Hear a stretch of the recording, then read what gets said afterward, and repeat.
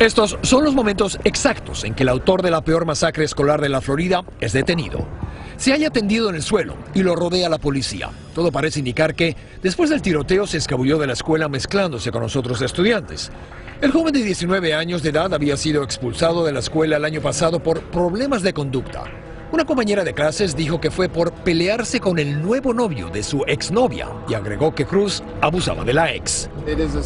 Reconocemos que había ciertos desafíos con él y reconocemos que fue un estudiante problemático, dijo hoy el superintendente escolar del condado Broward. Las redes sociales han sido reveladoras para formar una imagen de la personalidad de Cruz. Otro estudiante de la misma escuela dijo en una entrevista que los compañeros de clase bromeaban diciendo que si se producía una masacre en el plantel escolar, Cruz sería el autor de la misma. Anoche fuimos a la dirección en la que supuestamente vivía el adolescente. El acceso a la casa estaba bloqueado por las autoridades. En el interior de la propiedad intentamos conseguir información. Señor, ¿usted es familia de, de Nicolás? ¿No? ¿No hay nadie que nos pueda hablar? El periódico de Miami Herald entrevistó a uno de sus maestros, Jim Gore, quien dijo que el joven había sido identificado como potencial amenaza para sus compañeros. Cruz perdió a sus padres biológicos de pequeño y él y su hermano fueron adoptados, pero también perdió a su madre adoptiva hace apenas tres meses, tras lo cual se mudó a casa de un amigo. Fue precisamente en septiembre que supuestamente publicó en YouTube que sería un pistolero profesional de escuela. El FBI recibió información de que alguien llamado Nicolás Cruz publicó esa declaración en YouTube. Investigaron el caso, pero no fueron capaces de identificar a la persona que lo había publicado.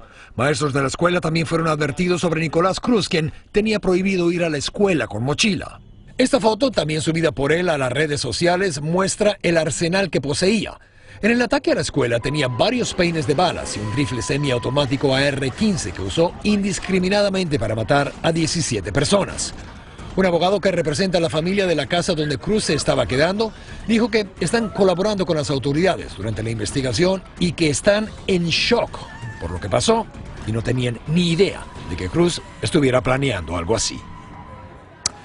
Ya hay varios reportes que confirman que Cruz era miembro de un grupo supremacista blanco. El líder de ese grupo, una milicia conocida como ROF, Republic of Florida o República de la Florida, también lo está confirmando. Tristemente, cada vez que pasa algo así, lloramos. Buscamos respuestas.